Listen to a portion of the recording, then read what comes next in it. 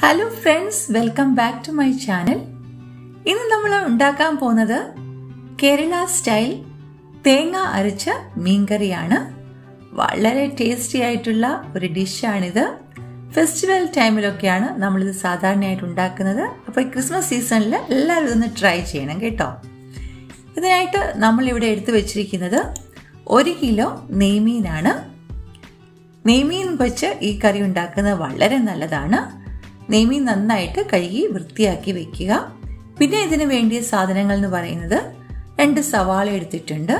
മൂന്നാൽ പച്ചമുളക് ഒരു medium size ഇഞ്ചിയുടെ കഷ്ണം കുറച്ച് വെളുത്തുള്ളി രണ്ട് തക്കാളി കറിവേപ്പില വറ്റൽമുളക് പിന്നെ അരമുറി തേങ്ങ എടുത്തിട്ടുണ്ട്. ഇത്രയും വേണ്ട നമുക്ക് ഇതിന്റെ ഹാഫ് മതി. പിന്നെ പച്ച മല്ലി എടുത്തിട്ടുണ്ട്.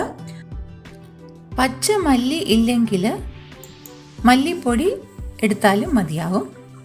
പിന്നെ മഞ്ഞൾപ്പൊടി കാശ്മീരി ചില്ലി പൗഡർ ഉപ്പ്. ഇനി നമുക്ക് തേങ്ങയുടെ കൂടെ പച്ചമല്ലിയും മഞ്ഞളും മുളക് പൊടിയും കൂടി ചേർത്ത് അരച്ച് വെക്കണം. പിന്നെ ഒരു ചട്ടി എടുത്തത് ചൂടാകുമ്പോൾ അതിലേക്ക് നമുക്ക് ഇഞ്ചി ഇട്ട് കൊടുക്കാം. വെളുത്തുള്ളി പച്ചമുളക് കറിവേപ്പില സവാള. ഇത്ര ഇട്ട് നന്നായിട്ടൊന്ന് വഴറ്റി കൊടുക്കാം ചെറിയ ഉള്ളി ഉണ്ടെങ്കിൽ അത് ഉപയോഗിക്കുന്നതായിരിക്കും കൂടുതൽ ടേസ്റ്റി. സവാളയേക്കാളും എന്തായാലും ചെറിയ ഉള്ളിക്കായിരിക്കുമല്ലോ ടേസ്റ്റ്. അപ്പോൾ ചെറിയ ഉള്ളി ഉണ്ടെങ്കിൽ അത് ഉപയോഗിക്കുക.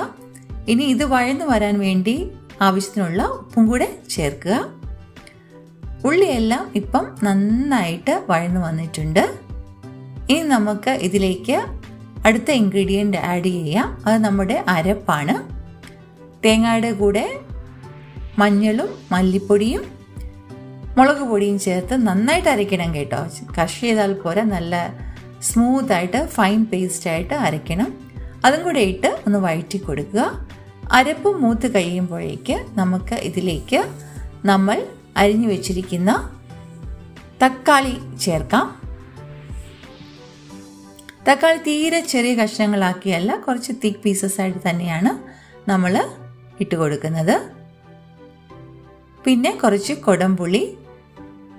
തക്കാളി ഇച്ചിരി പുളി ഇല്ലാത്തതാണെങ്കിൽ കൊടംപുളിയും കൂടെ ചേർക്കാം. അല്ലെങ്കിൽ തന്നെ രണ്ട് കഷ്ണം കൊടംപുളി ഇട്ടാൽ ടേസ്റ്റ് കുറച്ചും കൂടെ നന്നാവും. അപ്പോൾ കുറച്ച് കൊടംപുളി ഇടണം.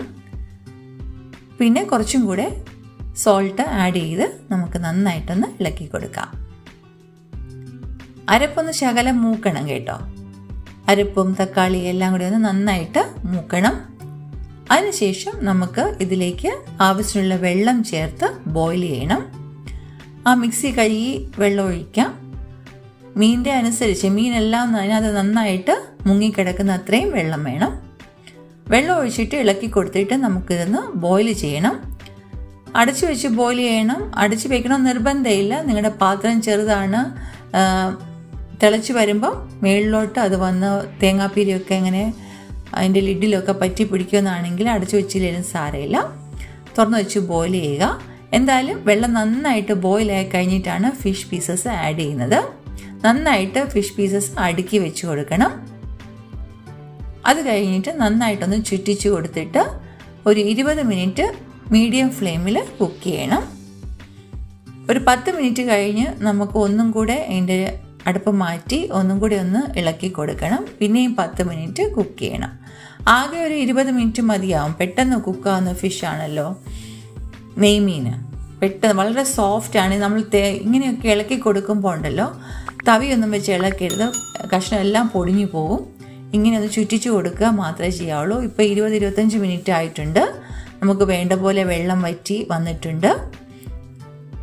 എണ്ണയൊക്കെ തെളിഞ്ഞു വന്നിട്ടുണ്ട്. എണ്ണയൊക്കെ തെളിഞ്ഞ് വെള്ളം വറ്റി വരുന്ന അവസ്ഥയിൽ മതിയാവുന്നതാണ്.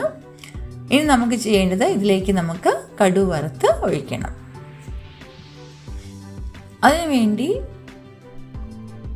എണ്ണ ചൂടാകുമ്പം ആദ്യം നമുക്ക് കടുക് ഇട്ട് കൊടുക്കാം. കടുക് പൊട്ടി കഴിയുമ്പം സവാള ചെറുതായിട്ട് അരിഞ്ഞതോ ചെറിയ ഉള്ളി ഉണ്ടെങ്കിൽ അത് അരിഞ്ഞതോ ചേർത്ത് കൊടുക്കാം. പിന്നെ വറ്റൽ മുളക് കറിവേപ്പില. പിന്നെ വേണ്ടത് കുറച്ച് ഉലുവയാണ്.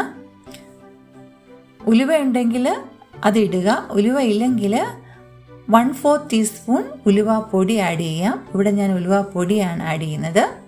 മുഴുവൻ ഉലുവ ഇല്ലായിരുന്നു. അപ്പോൾ ഉലുവ പൊടി ആഡ് ചെയ്യുമ്പോൾ വളരെ കുറച്ച് മതി. വൺ ഫോർത്ത് ടീസ്പൂൺ ആഡ് ചെയ്യുക.